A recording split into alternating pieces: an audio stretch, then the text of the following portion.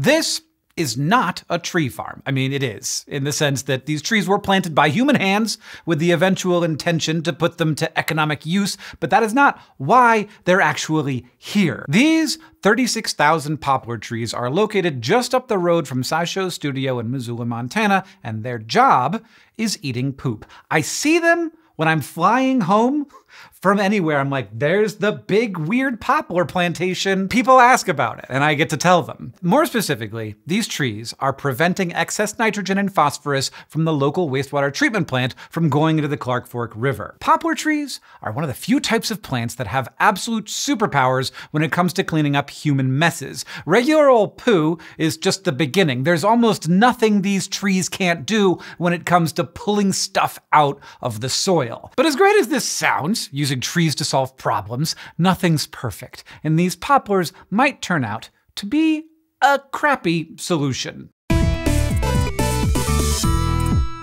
The city of Missoula planted 90,000 hybrid poplar trees in 2014 in an effort to reduce wastewater pollution being dumped into our river, although that number is down to about 36,000 today. In town, we call this the Poopler Grove, which is very funny, but might be a misnomer. See, they're not there to remove human waste, at least not directly. The problem these pooplers are solving is an overdose of nitrogen and phosphorus. Although, of course, these nutrients are essential for life, it's possible to have too much of a good thing. Too much can lead to algae blooms and other imbalances in the river's health. And the Poopler Grove actually is a pretty great way to help out the river. According to the city, the grove has been able to keep almost 5,000 kilograms of nitrogen and almost 300 kilograms of phosphorus out of our river every year. Plus, there's another benefit to growing these particular trees. The city's plan was to grow a grove of poplar trees to help treat their wastewater, and then find a way to sell the lumber when they were mature. At the time, they were anticipating a pretty big market for poplar wood and even had a mill in Oregon lined up to process it. But the trees would need 12 to 15 years to grow. So let's leave them to it and see what else poplars can do. The technical term for these trees' superpowers is phytoremediation. It can work in a bunch of different ways, and poplars are good at nearly every single one of them. One is called rhizofiltration, and it involves the plant slurping up contaminants directly from water into its roots. This is how poplars soak up nitrogen and phosphorus, and they don't just do it it in Missoula. For example, a 2018 study looked at the potential of planting poplar and willow trees along riverbanks in Canada to keep phosphorus concentrations down. And they identified a particular hybrid variety of poplar that was best at that task overall due to its big root system and the overall amount of phosphorus it was able to store. Incidentally, you'll find nearly all of this research refers to hybrid poplar trees. This is because of a really weird phenomenon called heterosis or hybrid vigor. Basically, when you cross cross a plant with another compatible plant, it gets better Bigger, more productive, better at cleaning up pollution, you name it. It's really common in plants, but the thing is, like, nobody knows why. Like, it has to have something to do with how their genes are regulated when you mix them up, but beyond that, scientists are completely lost. What they do know is that when you cross one poplar species with another, you often get a hybrid whose superpowers are even superer, which is good because we're just getting started in terms of what poplars could do. I mean, nitrogen and phosphorus, that's just fertilizer. Show me a plant plant that doesn't love those things. But what about cleaning up heavy metals. Poplars are some of the best plants out there for removing toxic heavy metals from the soil. This particular flavor of remediation is called phytoextraction, and it's pretty simple. The plant just pulls contaminants out of the soil and tucks them away. It can do that because plant cells usually have like a large storage space inside them called a vacuole. It's like, hey, nice cells. Ooh, they have pockets. If the plant encounters something that's stressing it out, like toxic heavy metals,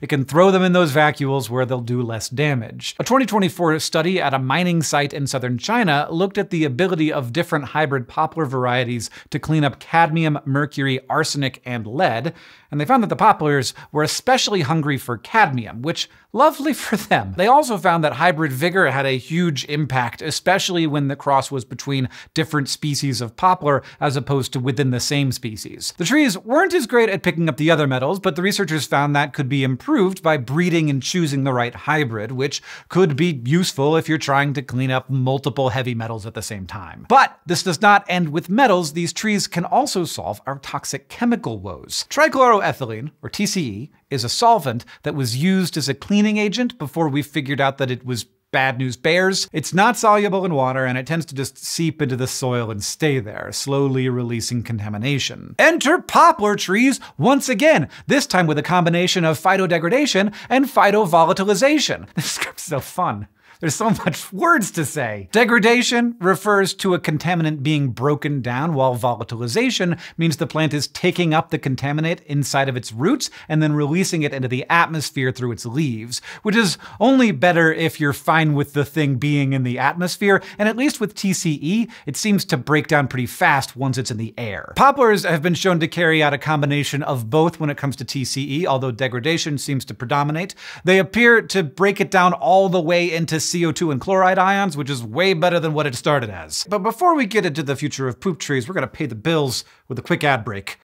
Thanks to Brilliant for supporting this SciShow video. Here at Complexly, we're all about lowering the barriers to knowledge, education, and wonder. We're working to make it so that more people can get access to lessons made in partnership with accredited university professors, and Brilliant is right there with us. Brilliant is an online learning platform that helps you build knowledge through interactive lessons created by professors at Caltech, MIT, Stanford, and more. These guys have lent their serious instructional chops to Brilliant's lessons to help help build your critical thinking skills through problem solving. So while you're learning about science and tech, you're also learning how to think. To try Brilliant for free, visit brilliant.org slash scishow or scan the QR code on screen, or you can just click on the link in the description. You'll also get 20% off an annual premium subscription.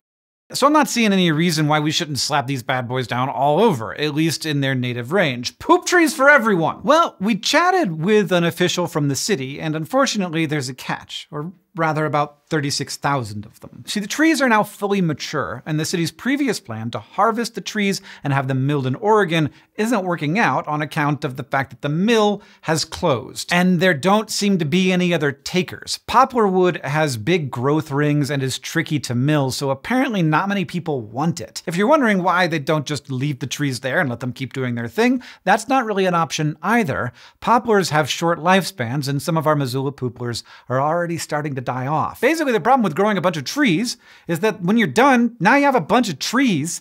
And the city kind of needs to figure out what to do pretty quick. So they're thinking about whether to use a different plant next time that will be a little easier to get rid of, like alfalfa, which could be sold to use as animal feed. Whatever they decide, the trees did great. I think the poopers are superstars and I'm proud of them. I am not mad at the city for trying to keep the river clean because I love a clean river. You cannot get in the Clark Fork without getting a little bit of river water in your beer. That's just, just a thing that happens. And I want it to be not hurting me. The reality is, cleaning up human messes is hard and no plan is ever perfect. But I am still on Team Trees.